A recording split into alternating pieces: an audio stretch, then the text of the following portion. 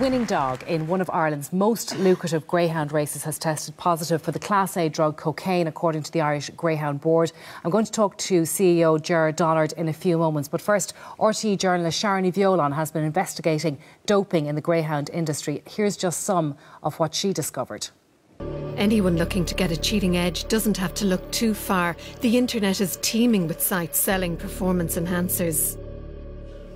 We ordered four products, all illegal here. They arrived in the post to RTE. The first is clenbuterol or angel dust. We have equine growth hormone. This stimulates naturally occurring steroids in the body like testosterone and estrogen. We have Cynodin, a steroidal painkiller with a built-in diuretic. And look at this, Numit, another painkiller, but it advertises itself as not showing up in tests. And Sharon Bheoláin is with us now. Sharon, you're very welcome. Thanks for being with us. How significant is the problem of doping in greyhound racing? Claire, I think the inescapable truth is that we have a, a significant uh, problem here, and all we need to do is look at the data now, in fairness, the data is supplied to us by the Irish Greyhound Board themselves. So, in terms of transparency and openness, recognition has to be made uh, there on that. But uh, we're looking at 91 adverse analytical findings. We're looking at 21 different prohibited substances. And it's when we look at the range of prohibited substances, I think that's where the, the, the true story here is. Uh, looking at stimulants, we're, we're looking at the likes of methylphenidate this is, is Ritalin in human medicine. It's uh, used to treat ADHD. Amphetamine, also known as speed, uh, no explanation necessary there. Stanozolol. Stanozolol is a class A drug. It is a serious performance enhancer used to, to bulk up muscle. Uh, think of uh, Ben Johnson and his disgrace at the time of the Seoul Olympics in 1988. Um, we're also looking, and it should be said that there are seven stanozolols so far this year. Now, that is a very worrying development. We've drugs here like heptaminol, that's a vasoconstrictor. So uh, we're looking at um, an, uh, a beneficial effect on, on blood pressure. So think of pumping blood and oxygen around the body. And we're also looking at the benzoylecgonine, uh, which we saw uh, last week, uh, cocaine. This, again, like stanozolol, a class A drug, which, which saw Graham Holland's uh, name up in lights okay, last week. Graham Holland, the trainer of Clonbrien Hero, he, uh, the, the dog tested positive for cocaine. Uh, Graham Holland is the most successful trainer in the country, two and a half thousand wins, but not the first trainer whose dogs have tested positive for co cocaine. G Graham Holland is Mr. Big, possibly, as you say, the most successful trainer this country has ever seen. He's not the first trainer, he, he's not even the first owner trainer to test positive for cocaine this year. We've seen six cocaine positives in 2017. So that is a very uh, worrying development. Okay, we tried to contact Mr. Holland. We didn't get a response, but he did speak to the Sunday Times and he said that he had never administered an illegal drug to a greyhound. He said he believes Clonbrien Hero ingested a small amount of cocaine by licking people's hands when they stroked the dog, the dog's head after it won a race moving on to the other uh, drugs that, that we've come across, what is the impact of using painkillers, analgesics on dogs? Yeah, we, we, see quite a few analgesics, non-steroidals, uh, painkillers being used here. And the tendency, Claire, might be to dismiss the, the seriousness of these drugs as dopes. Uh, that is wrong. These drugs mask the, the, the, the protective instinct in the dog not to run, not to perform in circumstances where they're lame, where they're sore, where they're carrying an, inju an injury. So these powerful drugs, they override that innate, um, I suppose, instinct not to perform when a dog is carrying an injury. So there would be significant animal welfare, uh, you know, consequences to an animal running in circumstances where it really, really So shouldn't. if you're somebody who enjoys this sport, who likes going to Curraheen Park, for example, and, and putting a few bob on, on the dog in trap number six, what does it mean for the integrity of the sport? Well, you know, this word integrity, we should say, so we, have dealt with stimulants, we, we, dealt with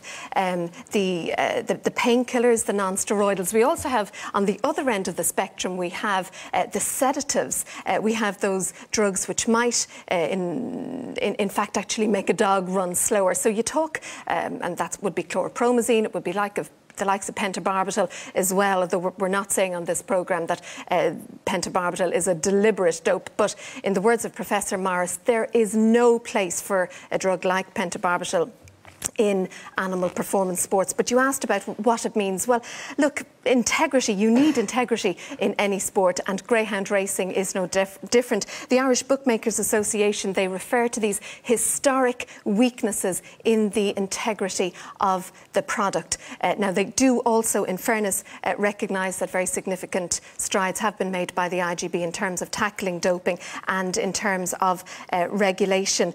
Um, but as I said, we, have drugs here which would make a, a dog run faster. We have drugs here which would make a dog run slower. And we have drugs here to mask a dog's okay. pain. So it, it's not a pretty picture. But the Irish Greyhound Board does say, and we'll hear that again mm -hmm. in a moment, that they're tackling this head on and that only a very small percentage of dogs are testing positive. Yeah, this, this is the argument that's, that, that's trotted out by the IGB again and again. And it is in very many respects, I think, a flawed argument for two reasons. One, the sampling strategy employed by the IGB up until very recently has been random or routine. And again, this, the, these are the words used by Professor Tim Morris, world anti-doping expert expert in his report commissioned by the IGB. Random routine sampling is not effective when you're tackling doping. You need targeted, you need intelligence led approach to doping. You're looking at perhaps betting analysis, you're looking at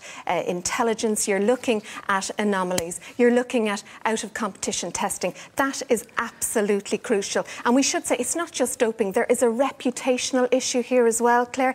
80% of, of dogs running on UK tracks, they are supplied by this country. And as and from the 1st of January this year, each and every one of those Irish dogs is subject to mandatory screening, and that is automatic testing for long acting substances. So, you know, we, we have the doping issue, we have the reputational issue, and again, this, this 1 or 2%, this low percentage figure that's trotted out by the IGB, these are tests that were done at a time when our testing laboratory wasn't fit for purpose. In the words of the same Professor Tim Morris, the performance standard of the lab was suboptimal. So, uh, you know, accepting IGB's bona fides in terms of the advance and the, the, the, the progress that has been made, uh, that low percentage argument is a flawed one in my view. OK, well, Sharon, thank you very much. We'll put all that to the IGB in just a moment, but I want to come uh, to some people in the know in the audience. Pete Wedderburn, first of all. Uh, Pete, Pete the vet, as people will know you. Are you satisfied as a vet that things are changing in this industry? Well, it's good to hear that there are improvements planned, but from listening to what Sharon said, they're much needed, and I think that much more needs to be done. The absolute number of tests isn't higher than it was a few years ago, um, and the targeting doesn't seem to be done in a more effective way. And if you talk to people in the industry, they would say that the timing of the tests could be improved as well. The methodology could be improved.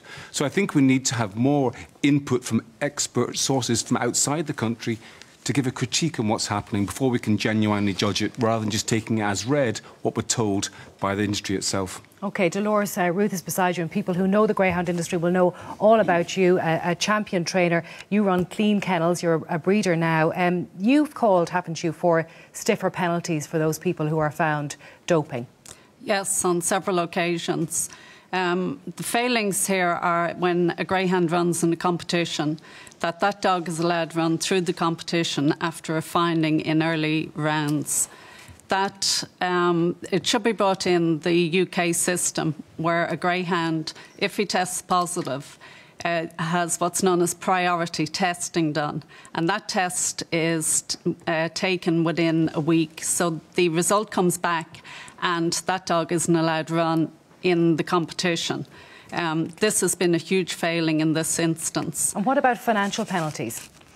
The fines are minuscule. Um, for as long as I've been in greyhound racing, I don't know of any high profile trainer that's ever been one uh, suspended, even if it's a, uh, there's never been one suspended for multiple, um, you Breaches. know, drug yeah. um, products in the system. And the fines are small. Like, like, give us an example of, of a typical fine, if you know. Well, the fines go from about 100 euros up to, in one or two cases, there has been a fine of 2,000.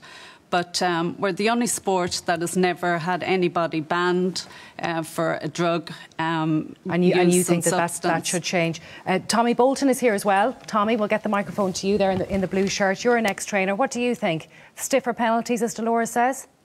Yeah, possibly stiffer penalties, like, but you may give the new system, like they've got in a new machine in Limerick, paid over four four hundred thousand for it, and it's obviously doing its job. So, like as I say, they're they're bringing in that and see what, what happens from so here give, on. Give, like, you know. give the changes a chance. Uh, Austin yeah. is beside you. You're an owner and a breeder, Austin. That's right, Claire. Um, the system's not robust enough. You heard there beside you earlier. Uh, um, over five thousand samples are tested annually and of those samples, less than 1% prove positive for prohibitive substances.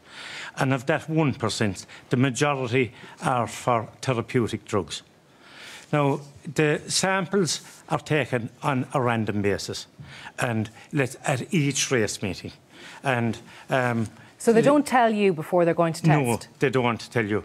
And the legislation has been updated recently to allow for out of competition testing. And um, as Tommy pointed out, the Irish Greyhound Board has spent over 400,000 on a new instrument in the laboratory in Limerick, and the laboratory is under the control of a very eminent okay. man. Well, look, we come to Gerard Dollard now. Thank you very much, Gerard, Dollard uh, from the Irish Greyhound Board. It's a bit of an odd system, isn't it? You're in charge of promoting the industry and you're in charge of, of testing for, for breaches when it comes to doping. Yeah, Can you do both successfully? Uh, yes, I mean, I, I think, Claire, the, the Irish Greyhound Board position is very clear. There is no place in the industry for those who engage in doping practices or misuse of medication.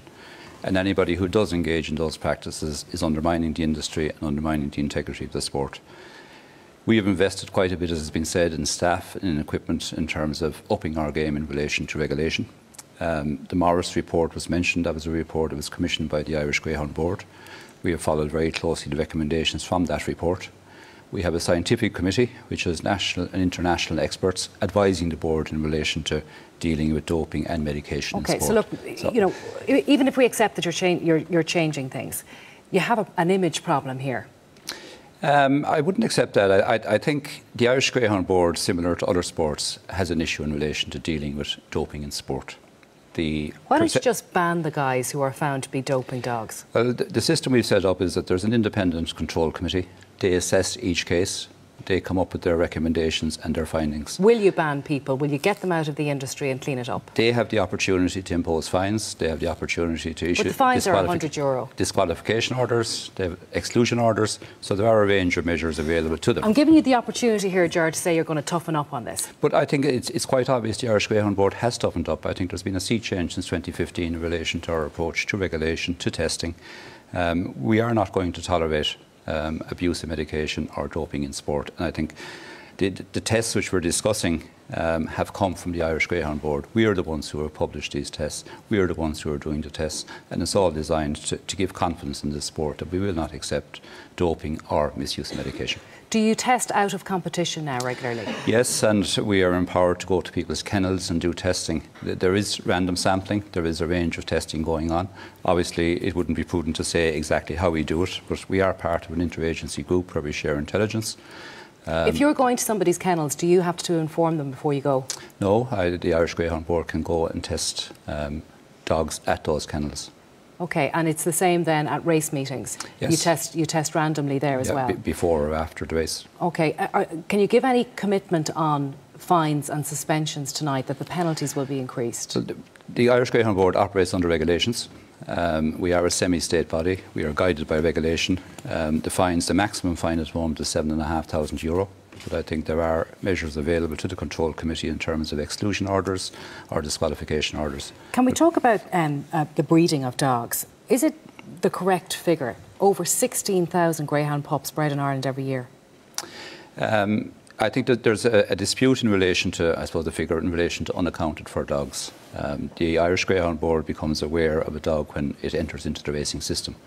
I think until such time. So you don't know how many dogs are bred for, for racing. The ones that don't make the grade, you, you wouldn't know about. Exactly. Them, I think until such time that there is full traceability, and the Irish the Greyhound Board has made representations as part of the Greyhound Industry Bill, which is going through the Oireachtas currently, until such time as there is a full traceability system in place, which we support and encourage. I think it is very difficult to account for all dogs. Uh, but, but, you do accept, I would imagine, that animal activists are very concerned about the dogs that don't make the grade and about the dogs who have ended their racing career and what happens to those dogs. Yeah, I, I accept there's an issue in relation to unaccounted for dogs, but I think the, the figures which are being thrown out are probably well in excess of what the actual figure is because of the number of exports to the UK and elsewhere. So are you uh, increasing any uh, the monitoring of what happens to those dogs? Well, I think it, we, we have looked for traceability as part of the new Greyhound Industry Bill, which is currently going through the Oireachtas.